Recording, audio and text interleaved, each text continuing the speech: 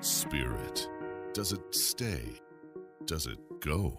The fact is, spirit does survive death. Our loved ones are all around us. Love survives. Spirit survives. All is not lost. Welcome to the All Is Not Lost podcast. Here's your host, psychic and evidential medium, Rianne Maldonado. Don't know if you're anything like me, but every once in a while, I will stop to look back at, well, let me start over. Every now and then, I will look at where I am right now or a situation I'm in, and I will stop to look back and think, how did I get here? And not in a bad way, but more like in a fun way. Like, what are all the things I did in my life, or choices I made, or steps I took, or places I lived that got me where I am today or introduced me to the person that I'm, you know, happy to be knowing this day. And I think it's actually kind of a fun journey sometimes to think, oh, if I hadn't done this or I hadn't have met that person or lived in that neighborhood, I wouldn't be where I am today. So I don't know if that's just something I do or if other people do it, but but I do think it's kind of a fun thing to reflect on and I'm going to talk a lot about this and why it matters in today's episode. But that wouldn't be that, well, there's more to it than just these steps that got us where we are today. And that's what I want to talk about a little bit. And you might be thinking, oh, like manifestation. And and you would be right in that I'm going to talk about manifestation a little bit. But I'm not going to talk about manifestation as if, you know, describing what it is, why you want to do it, how to do it, and all of that. This is definitely not an episode about about that. More about how we get signs and nudges from the universe or God, the divine, angels, spirit guides, whatever it is you're comfortable calling it or whatever combination of those things you you believe in, but how those little nudges and signs push us along our life's path. But while we're on the topic of signs, I think it's really important to, to differentiate and talk about signs from our loved ones in spirit, especially from a mediumistic perspective. So I'm going to do a little bit about both here because I do think that they intertwine. But I'm going to start today's episode talking specifically about our signs from loved ones in spirit. I think this is really important for so many reasons. Um, when we think about losing a loved one and how much we miss them, you know, we might know that their death was probably at that time the best possible thing for them in some cases if somebody has been suffering a terrible illness that's been dragging on a long time, of course you want them to be at peace and out of pain and all of these things. But let's be real, our heart hurts. We miss them. We miss their physical presence and having conversations with them and sharing our excitements or our sorrows with them. It's a real loss when we lose somebody that we love to the other side. And I'm here to tell you that they're not really lost and that you still can communicate with them. It's just going to be through a different language. When you have a loved one on the other side in spirit, they want to be heard, they want to be acknowledged. They are trying to get your attention all the time, whether it's a pet or or a person. Um, they are trying to get attention from you all the time. We don't hear it because we live these busy lives. We're constantly keeping our minds occupied, our bodies occupied, whether we're on our cell phones or we're, you know, working with our children, doing homework, cooking dinner, working a job, whatever it is we're doing, we're being inundated with information constantly from the moment we wake up to the moment we go to bed. We're never without information coming in. So when these little tiny subtle very quiet, easily unnoticed signs from spirit come through, we just don't see them or hear them. Um, our attention is elsewhere. So I'd really like to help you understand that you didn't lose your loved one. You're just going to have to communicate in a different way, as I said before. And you might have to practice a little bit of peace and quiet. I know I'm a mom of five. I work, I have kids. There's no quiet in my life, but we have to create some quiet or even moments um, so that we can hear these signs from our loved ones in spirit. So, I'm going to give a few examples.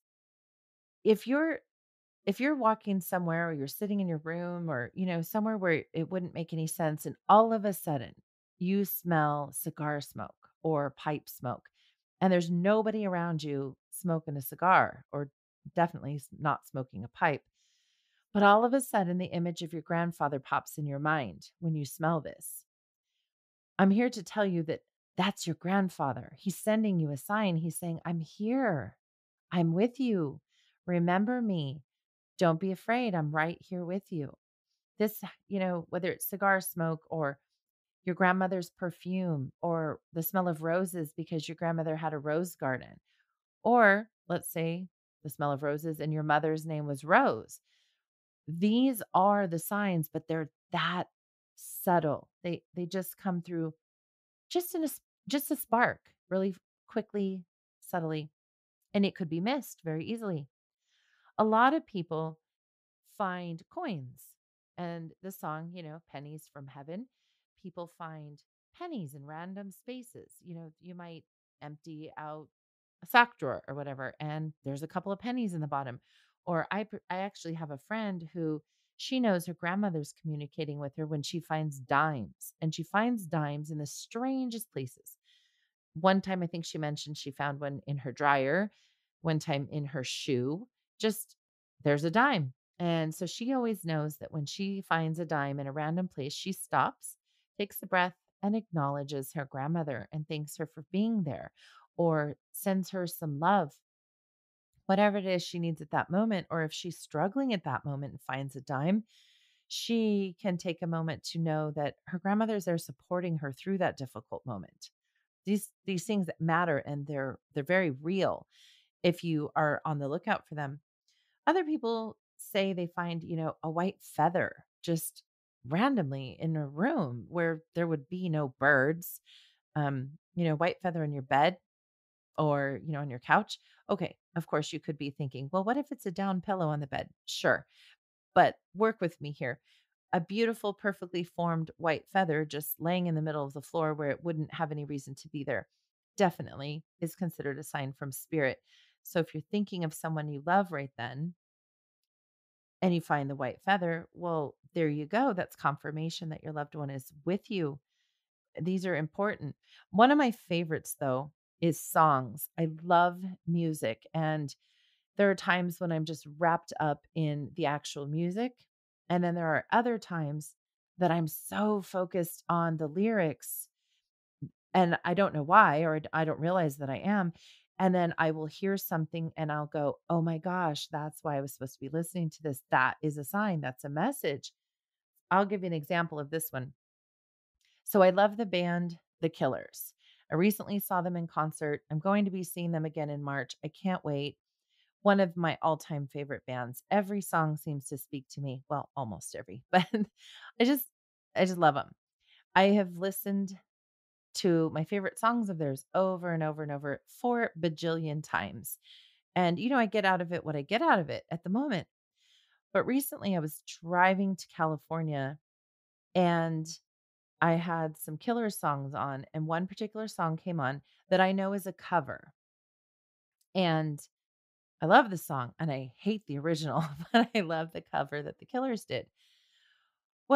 I can't, I really truly cannot tell you how many times I've listened to the song. And the lyrics are kind of hard to understand at some points. So they go pretty fast. But there I am driving down the 8 freeway from Arizona to California, just kind of zoning out, listening to the music. And all of a sudden, the lyrics were like lighting up as if it was a neon sign in the song Four Winds when Brandon Flowers sings that they're on their way to Cassadaga to commune with the dead. And I almost crashed my car. It's going to sound crazy. if you don't understand me and my weirdness with all of this spiritual signs and stuff. But the reason that blew my mind, and side note, sometimes we're not ready for signs and they have to come at the right time when we would be ready. And I say that because this is one of those. I had just in September, for the very first time ever, gone to Lily Dale, New York for a mediumship workshop. And Lily Dale will be a topic of another episode for sure. I'm actually going to be doing one shortly with an expert on Lily Dale. But Lily Dale is basically the home of mediumship in the United States from the late 1800s, and it is still going today. It's an amazing, amazing place.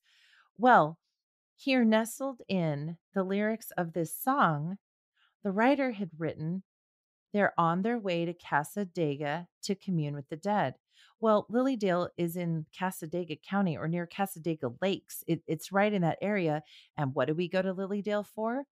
Ah, to commune to commune with the dead. I mean, mediumship. Hello. So right there was this mind blowing sign for me about Lily Dale and my love of music all wrapped into one. I I just had a lot to to process with that for myself and some things going on in my life and what I was thinking about at the time and my goals with my mediumship and this podcast and everything. And so when I heard that, I just knew that I was on the right track. And it was really special to me.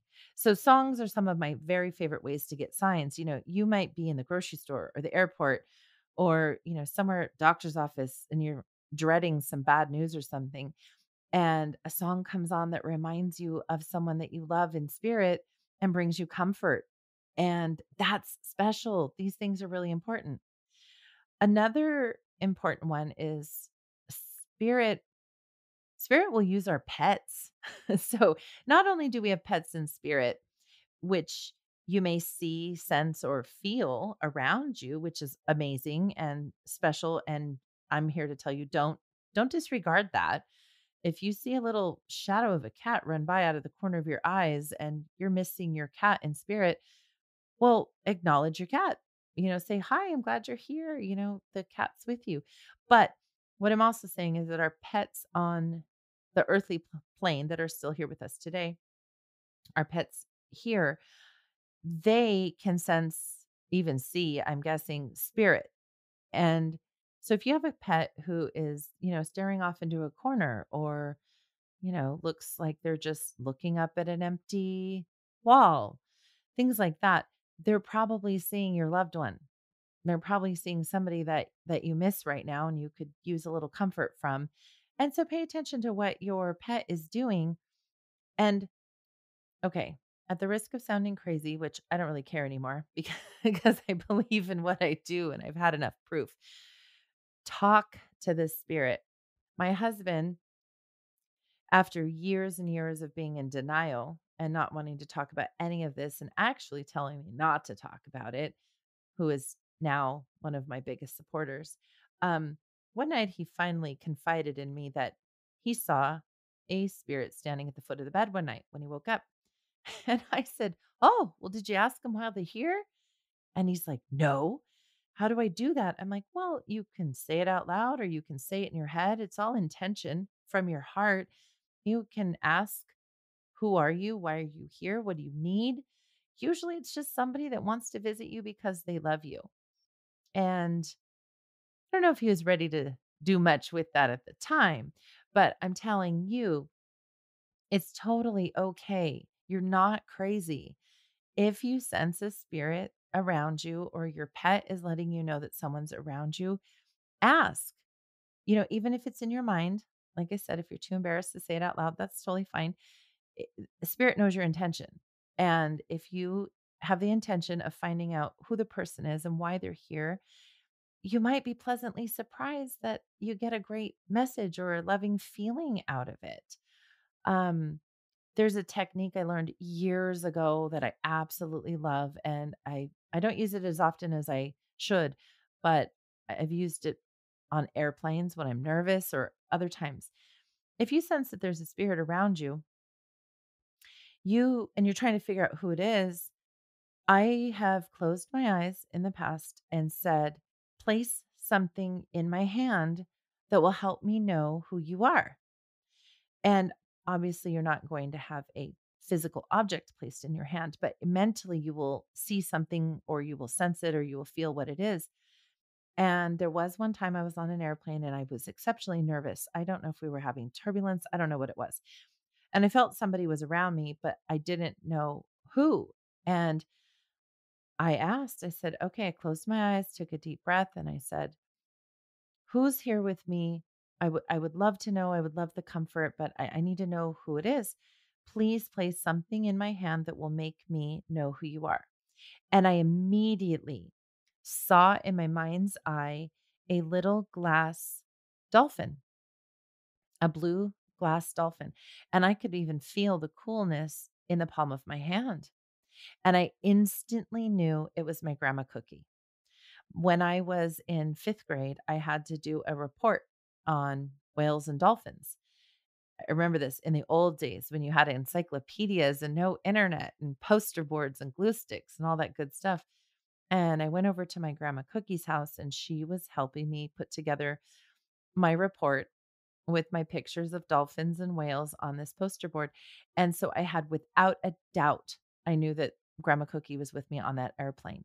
And then I was able to communicate with her from my heart and in my mind and know that she was comforting me while I was nervous on this airplane. So that's a technique I like to teach people because it's super valuable. Um, one more on this. I I was driving one morning with my whole family in the car and it it was um it was chaos, utter chaos in the car as usual.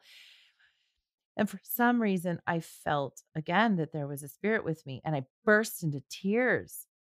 The emotion was so overwhelming. I just started to cry and I didn't know why or who was bringing this out. And it it wasn't sad or bad. It was just like overflowing emotion that had to be released. And I said, "Who who are you? Why are you here? What do I need from this?" You know, whatever it was I was asking. And I said, please place something in my hand so I know it's you. And I got a big string of pearls in my hand. That's what I could see in my mind's eye. Now I was driving, my eyes weren't closed, obviously, but I still could see this in my mind's eye. I could sense it this big string of pearls. And right away, I knew it was my other grandmother who always wore pearls to church. And since then, a friend of mine has given me my own string of pearls because this story was so impactful. It meant so much to me. So that's a technique you can do if you feel that you have someone around you. Another way that spirit communicates with us is through electricity or electronics. They are masters at manipulating the, you know, flickering lights or turning music on or off, things like that. And I had firsthand really great experience with this in a house I lived in in Temecula, California. Gosh, in like 2008 or before that, a little bit before that. Anyway, I've always known that my grandfather Sam has been around me. I don't know why. I just knew. Um, I had had some dream visits with him, which I'll talk about in a minute. And I just knew he was with me, kind of felt like he was my protector. And my grandpa Sam and my grandma Eileen, I say they they raised me um, because my parents worked full time. And so my grandma and grandpa took care of me a lot, and they were huge influ- influences in my life. And I was very close to them. And whether or not it's true, they would tell me I was their favorite. I think so. we'll just go with that. But anyway, I knew Grandpa Sam was always, always around me. But in this particular house, I felt his presence so strongly. And looking back, I I really believe he was with me because I was in a pretty bad marriage that I didn't need had no business being in this marriage and I needed to be out of it. And grandpa was there to protect me. and grandpa had a sense of humor and he kind of had a mouth on him and you know, he didn't mince words or beat around the bush. Well, this is this is hilarious what I'll the story I want to share with you. But first I'm going to back up a little bit and say it started small in this house. I remember that I would tidy up the kitchen at night and turn off all the lights and be ready to, you know, head upstairs to bed. And just as I put my foot on the stairs, the lights would come on. Full blown, like it was daylight. Every single kitchen light would come on. And no joke, from pitch black to all the lights on, I'd go back down and turn them off. This would happen at least a few times a week. Um, my oven would blink and do weird things even when there was no power outage or anything like that. All of a sudden, the clock would just start blinking. Um, and I would say, you know, I, I was a skeptic. I'm still a skeptic. I don't know if many of you know that I'm also a licensed private investigator in the state of Arizona. So I'm very skeptical, even with mediumship, even with all this stuff that I do and I teach. I don't just blindly follow. So, of course, there could be a malfunction in the oven. Sure. If it was isolated, I would say that that was probably more the issue. But because multiple things happen, not just the lights, not just the oven, sometimes the refrigerator um, would do strange things. Just all, these little things would happen around the house. I never felt in fear. That that's one thing I want to point out with uh, point out to you is I, haven't said this on another episode yet. I don't think. I don't remember, but I don't I don't play with the belief in demons and much of the negative energy stuff. I I really try not to even let that enter my brain. I don't feel like I need protection from the dead. I feel like you need more protection from the living to be honest. Um but specifically in this house, I didn't feel fear and I and I'm differentiating that because I did talk about in another episode about finding my gift of mediumship that the house I lived in did have a more negative feeling and the things I was experiencing there did not feel good. Do I think it was a demon? No, and I found out later it was just a person who made bad choices. But in this particular situation when I, I, I just knew it was my grandfather i wasn't scared it was more like comedy like okay grandpa enough i need to go to bed stop messing with the lights. But the funniest part for me was i'm sure some of you will remember kind of the old days when you could hook up your tv through your stereo speakers so you could watch tv through you know better speakers obviously well, we had a little stereo that had, you know, the CD player, the radio, and then the stereo option to hook up to your TV, you know, like whatever all those parts are. And one night, my parents came over to watch a movie with my husband and me, and we hooked it up to the stereo so we could hear it better and enjoy it more. Well, after the movie was over, we turned off the TV, turned off the stereo, said goodbye to my parents, and walked them out the out the front door. And we came back in and we were turning off the kitchen lights and everything. I'm sorry I'm laughing. It's just it still blows my mind to this day. Then we start walking up the stairs to go to bed and the radio comes on and not in stereo mode, not in radio mode, but in CD mode. Well, we weren't listening to CDs. We weren't listening to the radio. We were listening to the stereo mode. But the CD player comes on blasting at the highest volume AC/DC's Hell's Bells. and I busted out laughing because when I was little, I remember my grandpa every time he got frustrated because my grandpa had suffered a really major stroke right before I had been, right before I was born. And so he had to relearn a lot of things and he spent a lot of time, sadly, frustrated. He couldn't do all the things he used to do. And he would get frustrated. And I remember as a kid, I'd hear my grandpa kicking around going, Hell's bells. that was just his phrase. He just said it all the time. And so there we were in the dark, walking up the stairs to the bedroom, and boom, here comes Hell's bells blasting so loud out of our out of our CD player. And so in my mind, I'm like, okay, grandpa, I hear you loud and clear. And, you know, we dealt with that and whatever. Well, what's funny to me is multiple other things kept happening in this house. Unfortunately, one was kind of sad. My my cat lost all of his hair. I think he was pretty stressed out, but he ended up being okay and he had a great home after that. But once the marriage kind of came to a head and we decided to end things and he moved out all of the activity stopped. Completely stopped. The lights didn't do it anymore. The radio didn't come on anymore. And let me back up and add this. So, my grandfather that I'm talking about is my dad's father. And so, my dad was really familiar with him. Obviously, it's his dad. And my dad is a big non-believer. I think my dad thinks what I do is still crazy. I don't I don't even know if he believes me. I don't know. It doesn't matter. But he definitely didn't believe me about the lights coming on and off in the kitchen. And my grandfather had been an electrician. So my dad knew a little bit about electricity and things like that. And he would help me fix things around the house. Well, I'm like, Dad, you need to come over and watch this. And I know that he came over thinking he was going to fix whatever the problem was. So we demonstrated one night, turned off all the kitchen lights and started to head up the stairs with my dad. And there you go. All the lights came on. And I'm like, see, dad, and he could find no reason why the lights were doing what they were doing. So I don't know if he remembers that story, but it was a big story in my mind. So taking it back off of me, uh, as I go on with my stories, the point of that is spirits can really manipulate electricity. You know, they can change your clocks, they can burn out light bulbs, turn on the TV, turn off the TV, talk through your smart devices, all kinds of crazy stuff. I've even read recently or heard from somebody recently that their loved one passed away and they got a phone call from their loved one's number.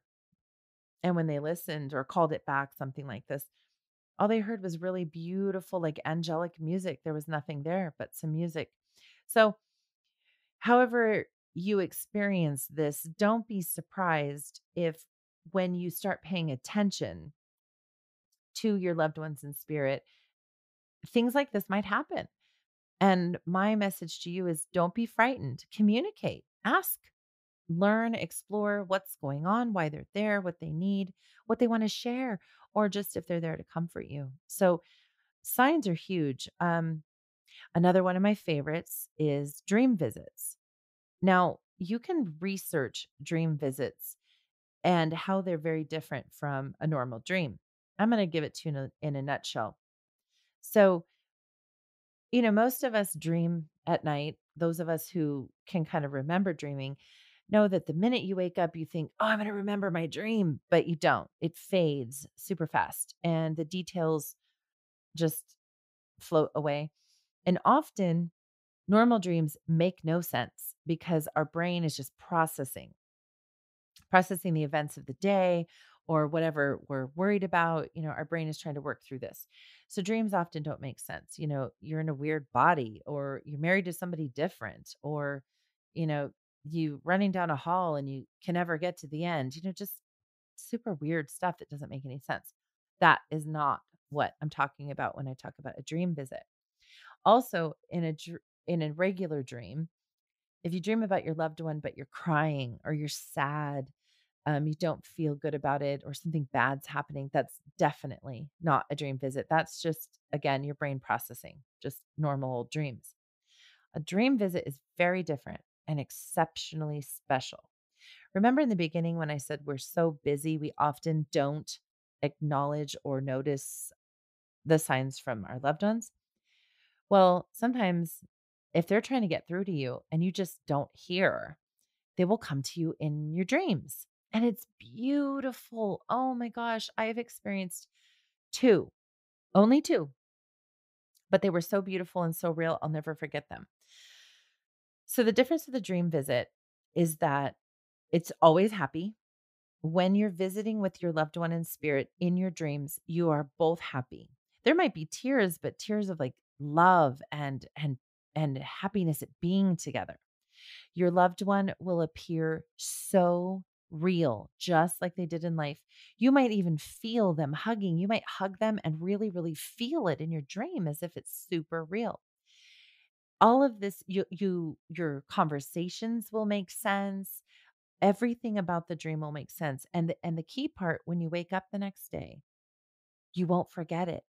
It will be as if you had a visit, a conversation, shared a hug, shared a memory, whatever it was that happened in the dream will be so real It's as if you just did it yesterday with a friend and you won't forget any of the details. I had one last year. Whenever I've had mediumship readings for myself, which are very few, I've, this is weird to admit, never really had a professional mediumship reading with a professional medium. The readings I've all had have been with um, students, and some have been wonderful, some have not been so great, but you know, that's okay. It's, you know, people practice and they learn. But um, but what I've noticed through all of the readings I've received, my grandmother didn't ever come through, or if she came through, it would be a very minor, minor message or role. Usually it was my grandfather coming through, but but not my grandmother. Well, about a year ago, she visited me in my dreams. And what I what I believe is that maybe she just it's a little hard for her to come through in a normal reading setting, or maybe she hasn't found a medium yet that can bring her through fully, or maybe she's shy. I'm not really sure. But she came to me in this dream visit, and it's insane how much detail I can remember and how much happiness. I woke up so happy. I woke up feeling like I had just danced with with my grandmother in life and I can tell you exactly what she was wearing. She was wearing this long black beaded dress with so much detail. And all the beads were black, except some on the chest were like a gold diamond shape.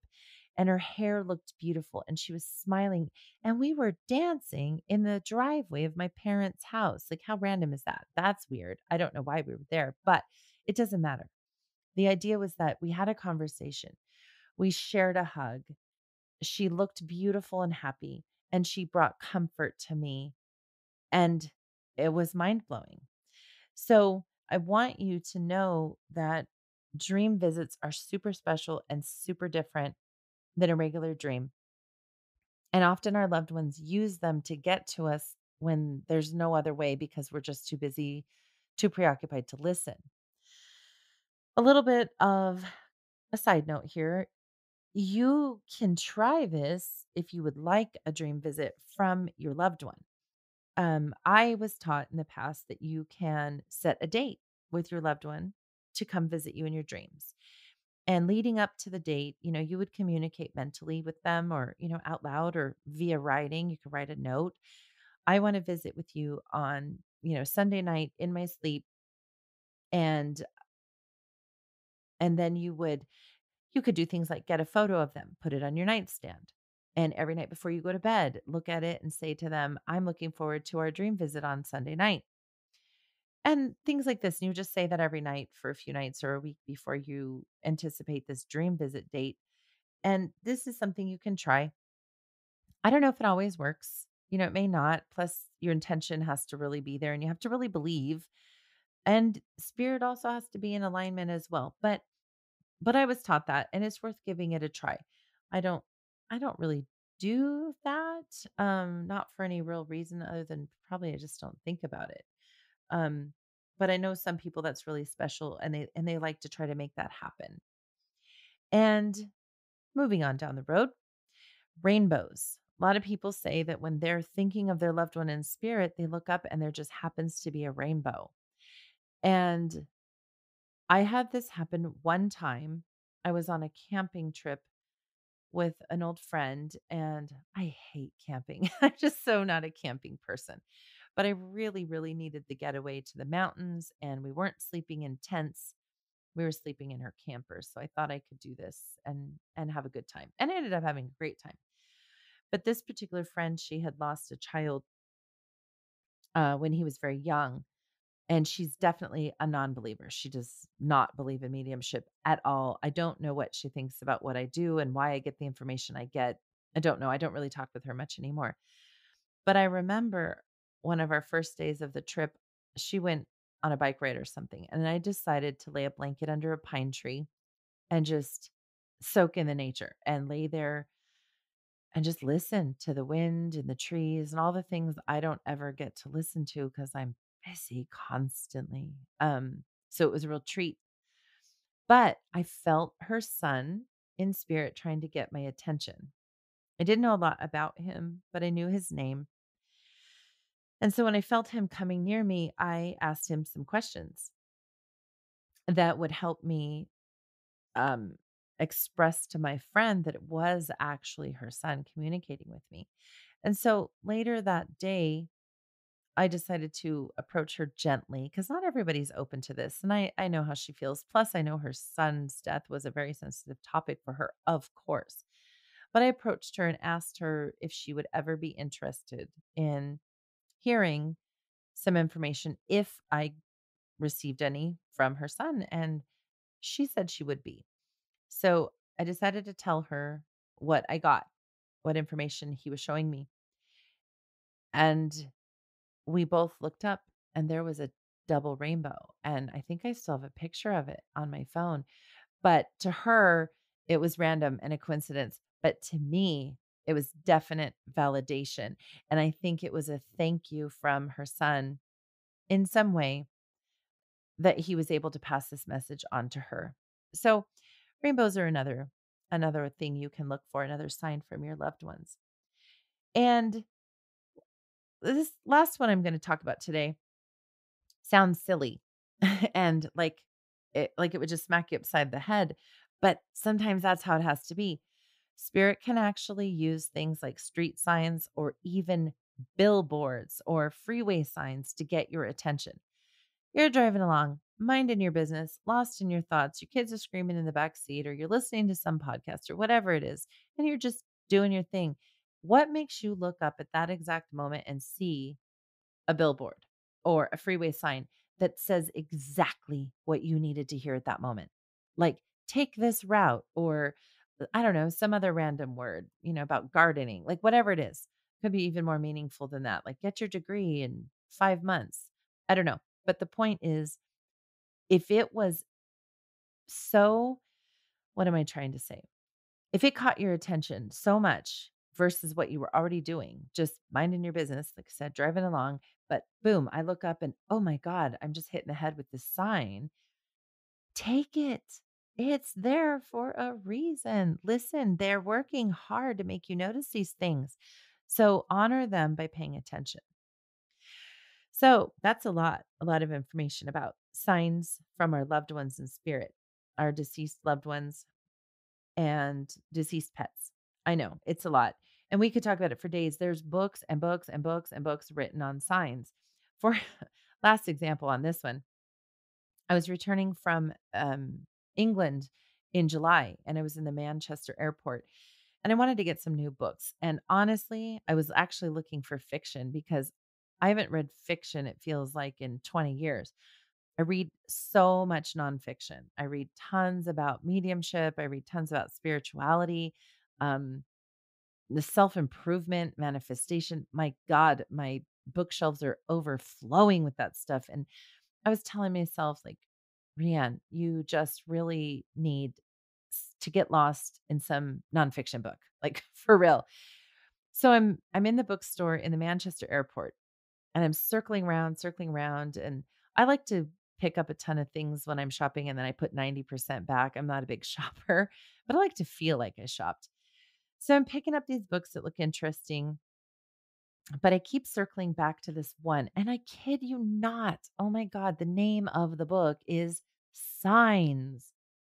And the cover art was beautiful and subtle and just pretty and kept catching my eye. And you know how most of the books lined up, the spine is out. You kind of have to tweak your neck to re- read the titles of the books on the spines. Well, this particular book was in the middle of the shelf, but facing forward. The whole entire cover was forward, just staring at me. And I, I, I literally remember saying in my head, Rianne, you do not need another spiritual book. You especially don't need a book about signs. My God, this is the work you do. What could you possibly learn from that book? No. And I kept going. And I went around and around and I picked out my books, got a couple of nonfiction books. I don't even remember what else I got. Doesn't matter. But I get up to the checkout and I stack up my books. And it's the strangest thing. I, I'm I'm planning to do an episode for you about what what mediumship feels like for me and how I experience it. But I'm going to give you a little taste right now because there I was at the checkout with my stack of books. I already handed the woman my card to pay, but I felt as if there's like a rope pulling me from my left side. Like if you could see me now, I'm, I'm tugging at my left shoulder, pulling me back towards this other book. Really, really strongly pulling me towards this book. So much so that I told the checkout lady, I'm like, "Can you hold on one second? And I ran back and I grabbed the book, threw it down on the t- on the counter and paid for it. I was like, "Okay, whatever. I'm supposed to have this book." So, anyway, it ended up being one of the best books on science I've ever read. It was it was amazing. It's called let me reach over here and grab it because I have it next to me. Signs: The Secret Language of the Universe by Laura Lynne Jackson. And I couldn't put it down. I got home and I read the whole book in like 2 days. Um it was brilliant. And so, signs happen like that too. If if you're being pulled, like physically feeling like you've got to go this direction or make this choice or buy this thing or avoid that thing, you've got to listen because that is still spirit giving you signs. So, to wrap up this part about signs from loved ones, the crux of it is if you want more signs from your loved ones in your life, not only do you need to set the intention to be more open and receptive so that you'll notice the signs that are already around you, but you also need to tell spirit, I want signs from you. I'm ready. I'm going to pay attention. I need these. I want to be a part of this.